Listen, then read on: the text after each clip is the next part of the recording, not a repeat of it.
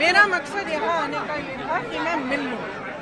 मैं जब मिलूँगी तो मैं चली जाऊँगी। कल रात को भी उन्होंने यही दोहराया कि आप चले जाइए यहाँ पे ऐसा नहीं करिए एक रात में बिजली पानी की भी दिक्कत घंटे एक, एक घंटे के लिए मेरे से बात की। मैंने फिर यही दोहराया कि मैं परिवार के सदस्यों से मिलने के बिना यहाँ से नहीं प्रियंका जी एक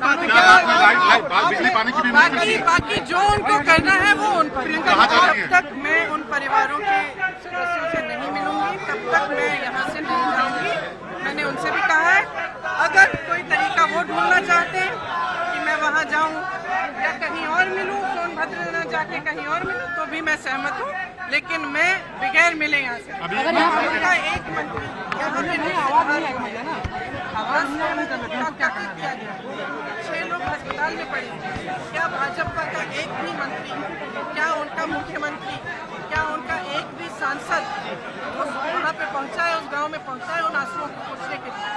नहीं मैम। मैम मैम उसके बाद मैम